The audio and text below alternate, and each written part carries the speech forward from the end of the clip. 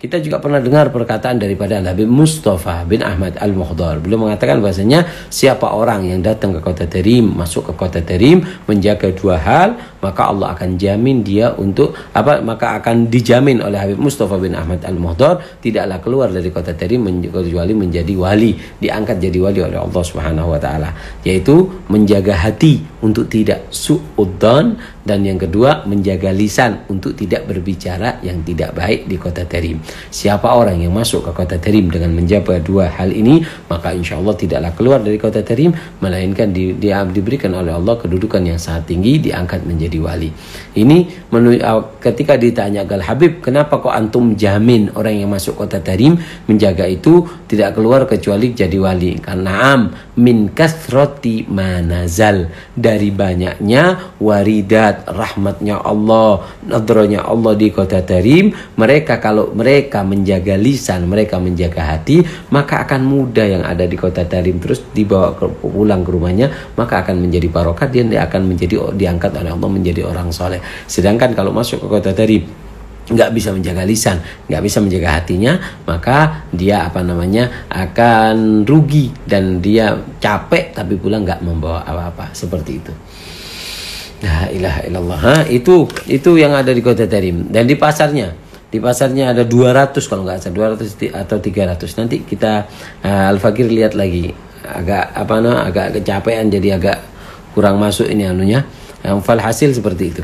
Dan juga saya pernah dengar dari Habib Masyur kita pernah dengar dari Habib Masyur, uh, beliau mengatakan bahwasanya aku kata Habib Masyur masih nututi di pasar kota Tarim itu mereka kalau jualan mereka itu bawa Al-Qur'an. Mereka bawa Al-Quran kalau anu kalau anu itu bawa Al-Quran. Ketika nggak ada orang yang jual, ketika nggak ada orang yang beli, mereka baca Al-Quran. Mereka baca Al-Quran seperti itu. Kalau ada yang beli, ditutup sebentar, dilayani, buka Al-Quran. Itu pasar kota Tarim. Ha? Makanya dikatakan oleh Sayyidina Ali bin Abi Thalib, suqul muslimin kamu kamusallal musallin. Pasarnya orang mukmin itu seperti tempat ibadah, tempat untuk mengambil pundi-pundi pahala. Pasar digunakan untuk mengaji. Pasar digunakan untuk menghatamkan Al-Quran. Masya Allah. Sampai kita pernah dengar dari Habib Umar. Apa namanya? Ada seorang soleh. Mereka mengatakan bahwa dikatakan bahwasanya beliau hatam Al-Quran sudah sekian kali hataman Al-Quran di kamar mandi. Di kamar mandi dia hatam Al-Quran. Hatam Al-Quran sampai dua kali, tiga kali hatam Al-Quran. Dia mengatakan bahwasanya ini hataman ketigaku di Al-Quran. Di dalam kamar mandi. Bagaimana bisa? Nah, bagaimana bisa menghafal menghatamkan Al-Qur'an di kamar mandi? Nah, ini jauh dari pemikiran kita. Kalau kita kan sok tahu, ya apa apa lah. Tenang dulu, Bro, tenang. Tenang dulu. Jangan kalau nggak tahu, dengarkan dulu. Menghafalkan Al-Qur'an, menghatamkan Al-Qur'an di kamar mandi itu sangat mudah bagi orang soleh. Memang kita di kamar mandi, kita nggak boleh bersuara jelek. Tapi mereka orang soleh, mereka di kota Tari ini kotanya Al-Quran, kotanya Madinatul Hufat, kotanya penghafal Al-Quran. Maka mereka ketika masuk kota uh, masuk ke kamar mandi atau ke hammam, mereka masuk ke hammam, mereka mandi, di hati mereka itu melantunkan alif lam mim tanpa suara. Jadi mereka mandi ini sambil melantunkan Al-Quran. Seketika berhenti diingat-ingat, oh ini di separuh di juz pertama. Besok ke kamar mandi lagi, ke hammam lagi, mereka mandi lagi ngelanjutkan sampai dari dari itu dihitung bahwasanya menghatamkan Al-Quran dua kali lebih di kamar mandi.